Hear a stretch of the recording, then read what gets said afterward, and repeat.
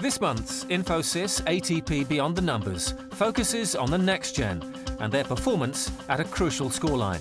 The question, are these young stars more likely to win the game when they are love 30 down on serve or when they're 30 love ahead on their opponent's serve? First, let's compare the next gen with the top eight of the 2015 season, up to and including the first week of the 2016 clay court swing. The world's best eight players hold serve on average 50% of the time at love 30. The emerging next gen average 37%. The top eight broke 38% of the time when 30 love ahead in their opponent's service games. The next-gen players could only manage 26%. But some next-gen players outperform the game's biggest stars in certain key metrics. More than half the next-gen players perform better on the serving side of this equation. Alexander Zverev, Elias Ymer, Yoshihito Nishioka, Kyle Edmund, Quentin Halys, Nick Kyrgios, Thanasi Kokkinakis and Andrei Rublev. Just five players had more success from love 30 on their opponent's serves.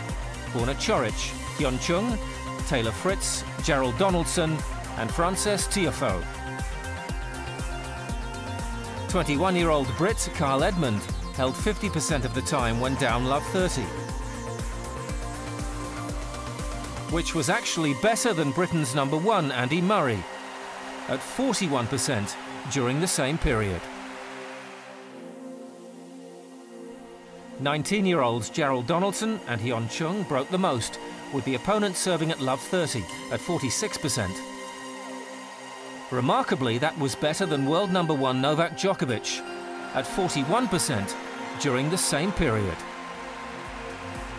18-year-old German Alexander Zverev was the only player to be ranked in the top four in both categories, putting up stronger love 30 service numbers than David Ferrer and stronger metrics than Tomas Berdych.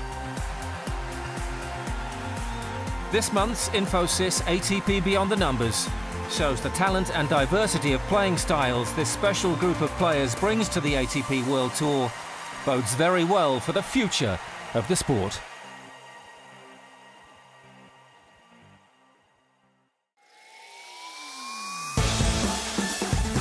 Next week on ATP World Tour Uncovered, it's Masters Week in Madrid. And Spanish star Feliciano Lopez gives us the lowdown on married life. Don't forget to log on to ATPWorldTour.com and chat with us on the ATP's official social network, MyATP, powered by Vixlet, and on Facebook, Twitter, and Instagram. See you next week.